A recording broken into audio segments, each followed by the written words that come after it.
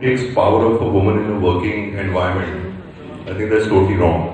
So uh, I think it's a good time that women are getting a voice and they're speaking up, and uh, it will keep everyone on their guard.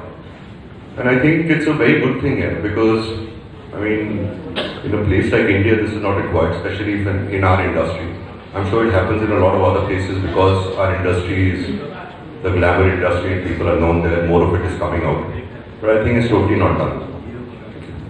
What is the sir, what is the way forward now? Do you think this is a uh, so many so many celebrities also including this and So now the movement has started.